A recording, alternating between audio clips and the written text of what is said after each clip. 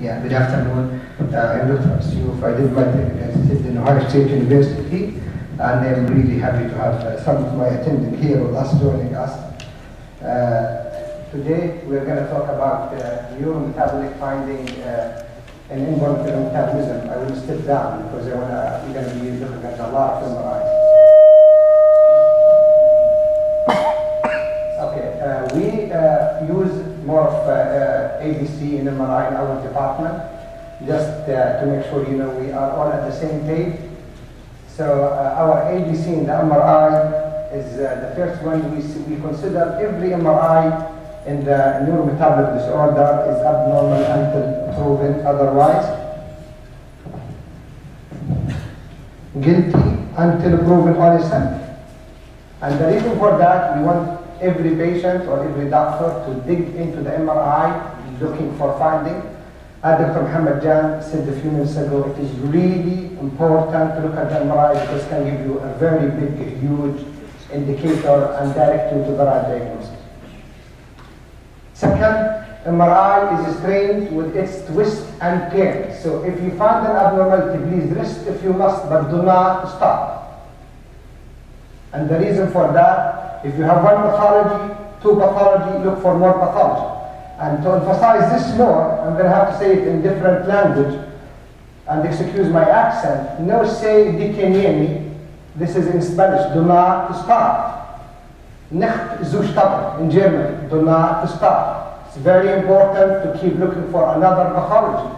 Ne vous which is in French. Don't stop, please. And Bochioch is in Chinese. Don't stop. Now, third, bias and prejudice are attitude to be kept in hand, not attitude to be avoided. What do I mean by that? If I have an EEG that shows the right posterior quadrant abnormality, please look at the right posterior quadrant abnormality because you might find the abnormality and you can bypass it as if nothing there. And we, we deal with this all the time. To, to also emphasize the importance of looking at the MRI, if I don't look at the MRI, it is not real. Every single MRI, every single patient I see, I MRI. And all, all the residents working with us, they know we look at every single MRI of the patient we see, and it is not uncommon we find abnormality. This is, has led to the innovation of MRI of, Al-Mafraq Hospital. We'll talk about it in a few minutes. Now, males and females have equal brain, so this, this one here is wrong.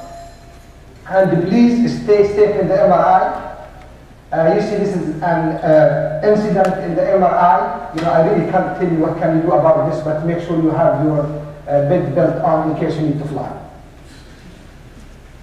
The MRI oath at the Mafraq Hospital, most of our residents know that. They, they have to do the oath. There's no other way around it. It is, I swear to God, I will look at every patient MRI, the whole MRI, and nothing but the MRI. Again, to emphasize, you really need to look at your MRI. That's very important slide. This is very important slide. Uh, can you hear me?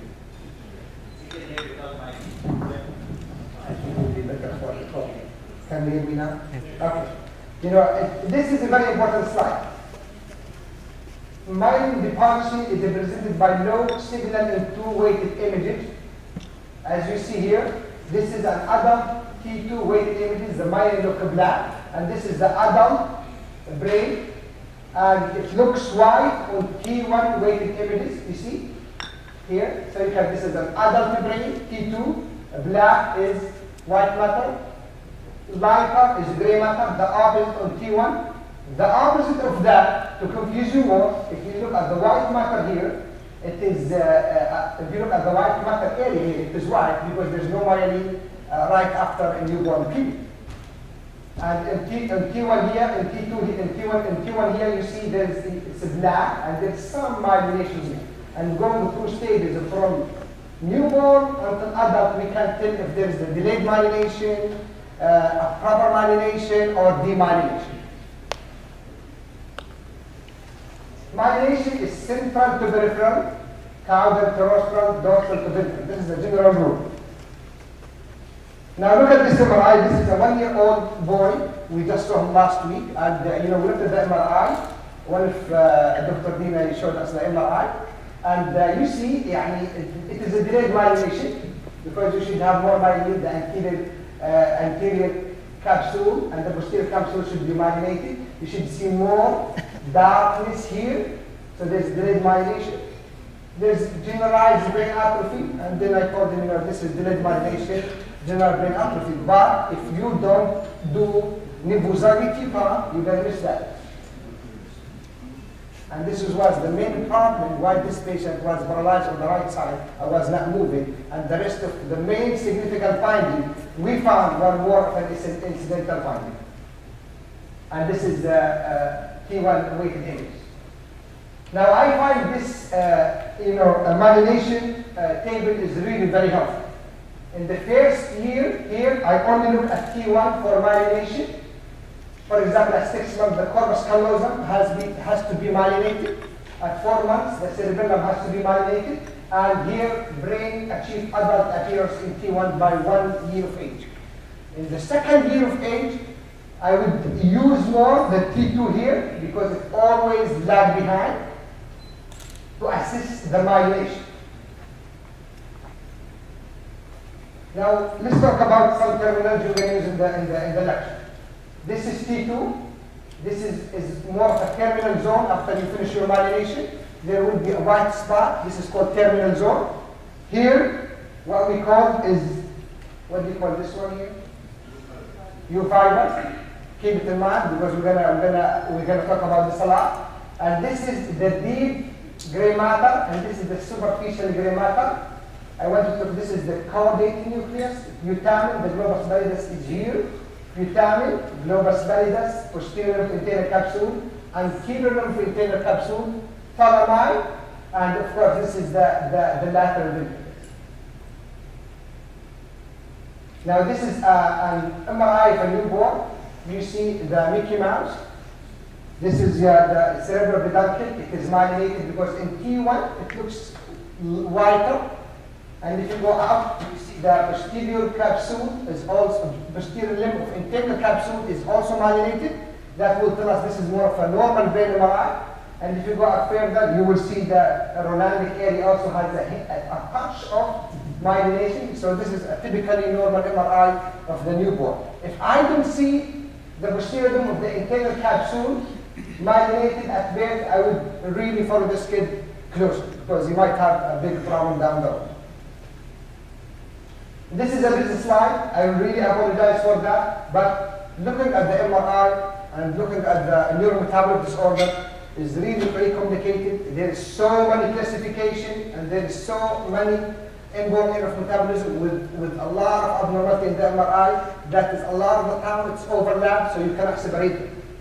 But I, I picked up this algorithm because it gives you more of a pattern recognition in your busy daily practice. I look at the MRI, I use this algorithm and it will help me big time to know my differential diagnosis. This is more of uh, white matter demyelination or dysmyelination. The T2, the, the white matter in T2 will be hyper, the signal will be high, and T1 will be low.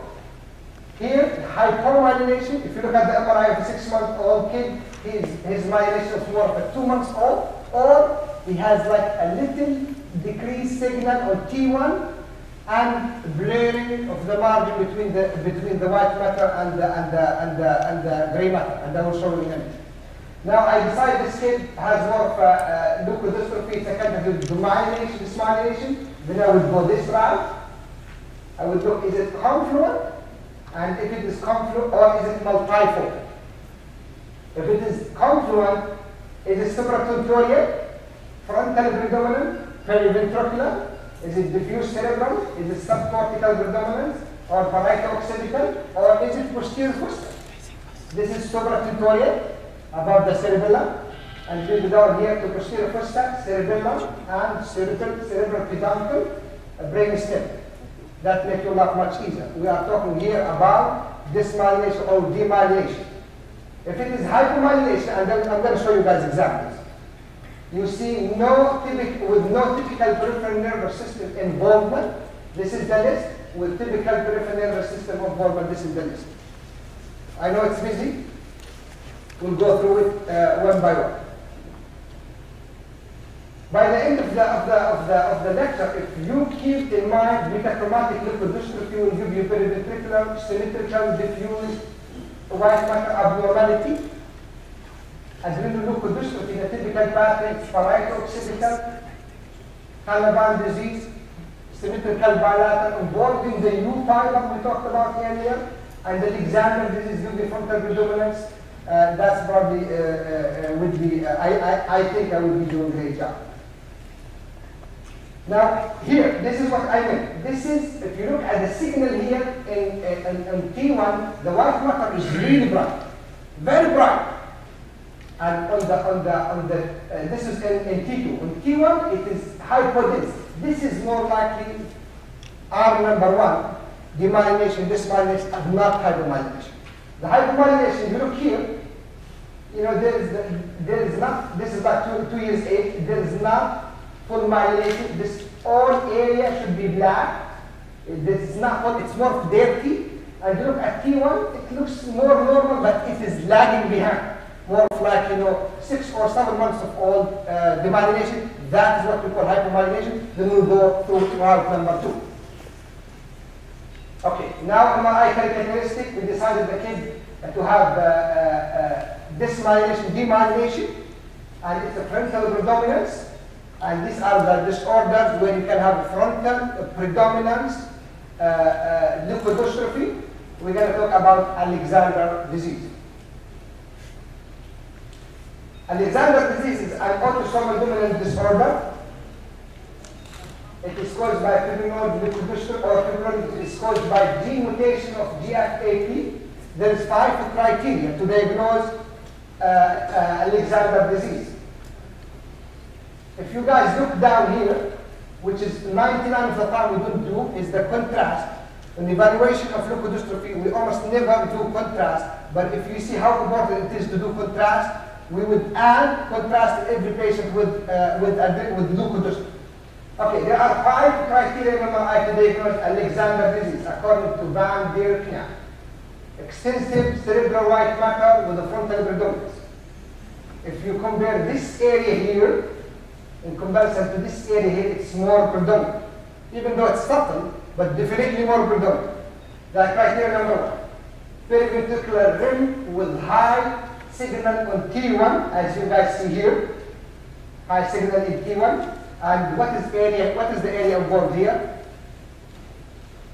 The peritrigonal area is the optic radiation area. So it is high in T1, it is low in T2, that's the criteria number two. If you have a periventricular, if you have a signal abnormality with swollen or voluminous in the basal ganglia and the thalamus, look at the caudate nucleus here, it is so wide, you know, you cannot even uh, separate it from the lateral ventricle uh, CSF signal. So that's criteria number three. Brain stem signal abnormality, as you guys see here, look at the, at the red nucleus, beautiful, but abnormal, unfortunately and contrast enhancement of one of the more of, of the following, one or more of the following, either the brain stem, you see the enhancement here, or enhancement of the of the of the periventricular area. If you find four out of five, you almost got your diagnosis without doing the genetic testing.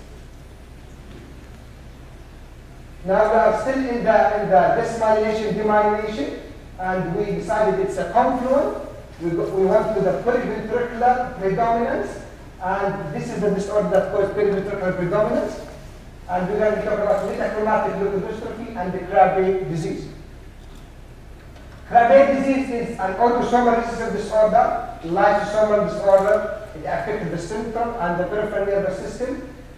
It is dysmyelination or demyelination. This is why it should be hypointense on T1, hyperintense in T2. You see here, the deep cerebellar nuclei will be involved early in the disease, and it gives you also periventricular predominance. And one thing here, what is this structure here? Optic optic chiasm, hypertrophied, and if you look at the optic nerve here, is also hypertrophied. This is, can also be seen in Krabbe disease. If you find this finding, uh, uh, you should be uh, thinking about uh, Krabbe disease. And remember here, the subcortical fibers are spared until late in the Krabbe disease. Metachromatic leukodystrophy, I think this is the diagnosis we, we think most of it when we see patient. It is a lysosomal storage disease caused by decreased activity of aryl A less than 10% of normal. It is an autosomal recessive assay of aryl A sometimes might not give you the answer, though you have to definitely do one of these other two testing, either the molecular testing or urine excretion of sulfatides. A three form, late infantile, juvenile, or adult. And the subcortical fiber are spared until late in the disease. If you guys look here, the white matter in the periventricular area is involved and uh, it is symmetrically involved around the lateral ventricle and that's typical of metachromatic leukodystrophy. Now we are going to go to the parieto-occipital area. It's a confluent, it is dysmyelination. We went down, down to parieto-occipital area and we're going to talk about the prototype that caused such abnormality as X-linked adrenoleukodystrophy. It's a peroxisomal disorder affecting the central nervous system and adrenal cortex. There's three forms. Childhood onset, the most common form, Addison disease only, or adrenomyeloneuropathy. If you have an adolescent or even a young adult who start to have spastic paraparesis, please do me a favor, do yourself a favor, do the patient a favor and get very long chain fatty acid. Because this is one of the, might one of the progressive disorders. If you look at the MRI here, there is signal abnormality involving the cortical spinal tract.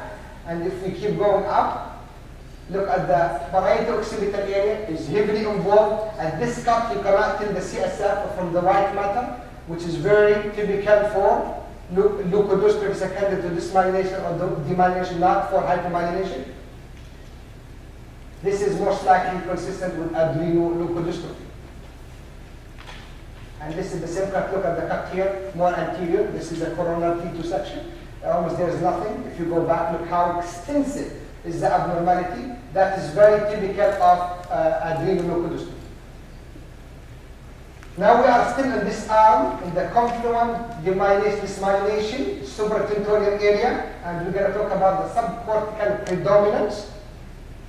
And in the subcortical predominance, we're going to talk about Kearns-Sayre syndrome and Canavan disease. Canavan disease is an autosomal recessive. This is the, probably the prototype disorder that the U fibers are involved in. If you see this picture here, please think about Canavan disease. There's other differential, but please think about uh, Canavan disease. You see the subcortical U fibers here are really involved, diffuse, symmetrical, bilateral involvement of the white matter that is involving the U fibers, and also, if you also look here, it involves that globus pallidi, that's very typical of Canavan disease. If you have a patient and you do an MRI and the MRI looks like this, you can always just go ahead and do target testing for Canavan instead of doing like, you know, a 10,000 dirham, uh, multiple thousand dirham investigation.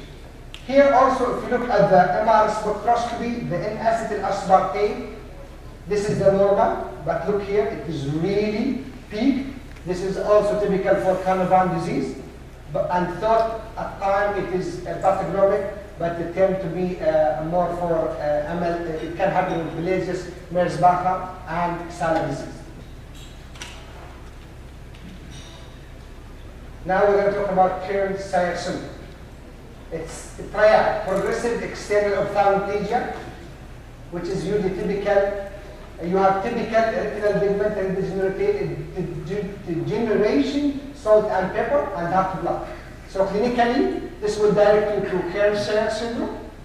And if it is a sporadic, it's a mitochondrial disorder. If you do muscle biopsy, you will find, you will look, see the red, red fibers. As you guys see here, see this is typical look of ragged red fiber. And if you look at the MRI, the subcortical white matter is very involved. Look here, but look at the deep, deep white matter is almost sphere. This is very typical of Kearns-Sayre syndrome. If you see this one, you probably made your diagnosis. Now we are going to talk about diffuse cerebral, a confluent dysmyelination or demyelination disorder. And the prototype probably in this category is MLC, megalencephalic leukoencephalopathy with subcortical cyst. If you see it once, you probably can diagnose it right away next time. Childhood ataxia with simple hypomyelination or what we call vanishing white matter disease. Okay, MLC, as you guys see, it is an autosomal recessive. It is secondary to MLC1 mutation. The MRI is characterized by diffuse, abnormal, and mild swollen cerebral white matter. Look here. This is not the typical look for the white matter. Look also here. That is more of a very bright look of white matter. But if you look deep, you will see the subcortical cyst. This is a very typical, extremely typical of MLC. And there's also another disorder that can cause that on MRI. Anyone knows? One of them cofactor. And what, what is the third differential on this also? Severe hypoxic ischemic encephalopathy. Can give you a molybdenum cofactor and MLC and the severe hypoxic ischemic encephalopathy can cause the similar look. This is the, these are the cysts. Now vanishing white matter disease. If I if I cover the name here and I tell you, look at this guys, what do you think this is this is the abnormal uh, the abnormality or the leukodystrophy? Canavan disease. Typical look like Canavan disease. So it does look like Canavan disease, but it is uh, it is also autosomal recessive. It has ataxia, spasticity, and variable optic atrophy. If you guys look here, this is the optic nerve. Usually, if you want to look for optic atrophy, usually you have to do ophthalmological examination, but on coronal cut, you can see the optic nerve much better. Subcortical involvement occurred during early stages of the disease, just like Canavan disease. You see the U fibers or the subcortical area are involved. And also, very characteristic dorsal pons hyperintensity seen at the beginning, as you guys see here. It just shifted a little bit down. You see these two dots here? This is dorsal pons, hyperintensity. And this is why I said if you want to look at the MRI in a neurometabolic disorder patient, look one, once, twice, and up to 10 times. Because you can miss this big time easy if you don't look carefully for that. And the diagnosis is basically based on the, you can do a genetic testing to confirm for that.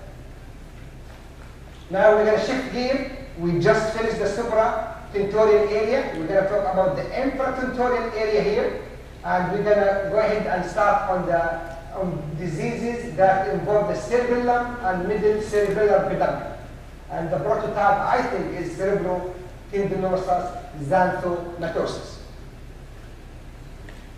This is an autosomal recessive disorder. It is a lipid storage disease characterized by infantile onset, diarrhea, childhood onset cataract, adolescent to young adult onset tendons and toe.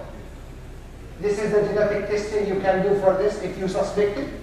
But the typical MRI finding, remember, we said now we are talking about demyelination, dysmyelination. It is infratentorial. So the cerebellum is more involved than the supratentorial area. Look here, the white matter abnormality. And one characteristic finding also, hypointensity in the cerebellum, in the cerebellar nuclei. That's very typical of cerebrotendinous xanthomatosis. What's the blood testing we can do for that, screen for that? I think there's a fancy name. I remember. Cholesterol.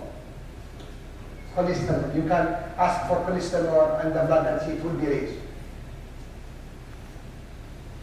And you see this is all the abnormality we talked about. Now we're going to talk about the infratentorial confluent dysmyelination, demyelination that involve the brain stem mainly. And the real prototype is Leigh syndrome. I just recently, two months ago, had a patient with typical finding uh, of Leigh syndrome. Leigh syndrome is a mitochondrial disorder, so you expect to see the ragged uh, fibers, as we showed you guys earlier. Most of children are normal at birth, but when they grow up, they have uh, troubles. There's stringent diagnostic criteria for Leigh syndrome by Rahman et al. done 1996. And this thing, progressive neurological disease, all the neurodegenerative disorder will have this. Sign and symptom of brain stem and basal ganglia. It's not uncommon for the other disease to have these findings. Raised lactate concentration either in the blood or in the CSF. For typical finding in neurology or neuropathology uh, uh, or typical neuropathology and similar activity symptoms. What we care about here, neuroradiology. So look here, this is, what's this structure? The putamen, very effective. The globus, the globus pallidi are not affected.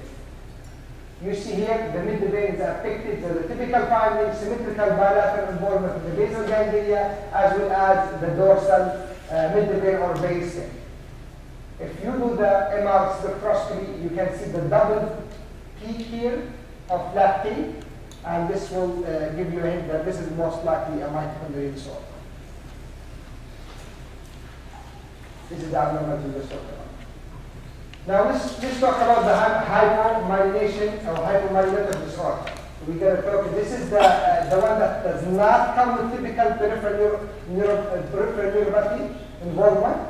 And we're going to talk about Pelizaeus-Merzbacher disease. Remember, these on T1, there will be bleeding of the gray-white matter, and in T2, or in T2, there will be uh, more of mild signal intensity increase.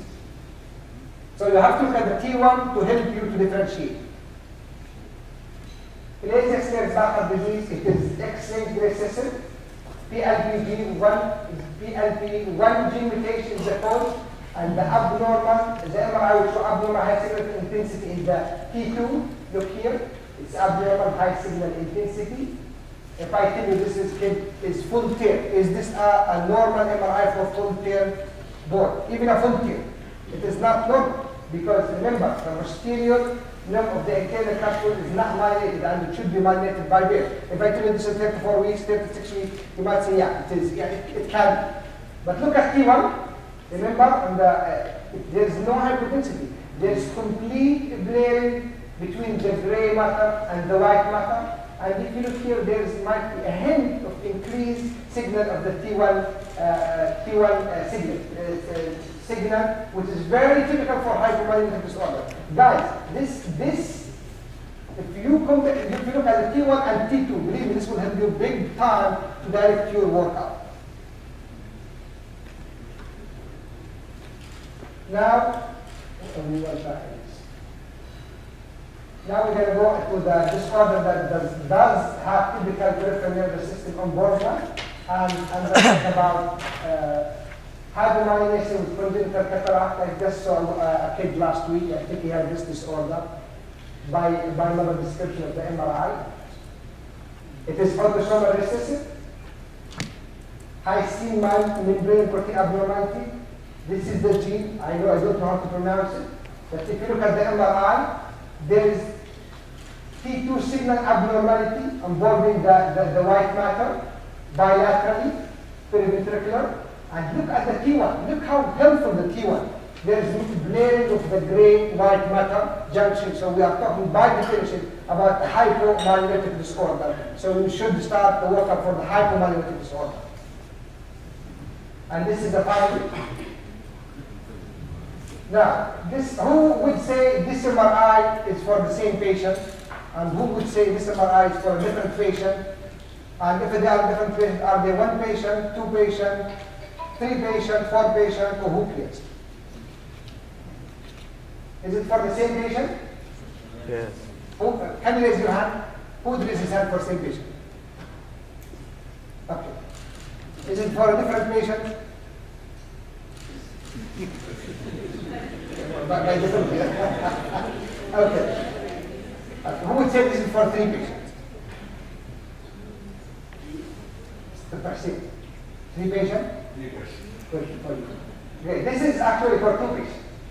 The first MRI here, just Dr. Uh, Muhammad Jan showed the, the uh, uh, uh, similar case, but it is not for the same diagnosis. This is a non-MRI finding in non-syndromatic mitochondrial disorders. And for me, it looks really similar to this one and this one. But this one and this one, Dr. Muhammad just talked about them. This is the latest public publication about the biotin responsive basal ganglion disease, and this is the way it looks. If if I if I see this MRI now, at least for me, I would take either of these two differential diagnoses, and they will save a lot of money. Now this is an, a 35 leukodystrophy hypomyelinating disorder. This is more a business plan for those who want to know all the names. And this is, you know, how you can triage based on the age. and this is uh, some of the tests you can do on leukodystrophy. And uh, I think we're done.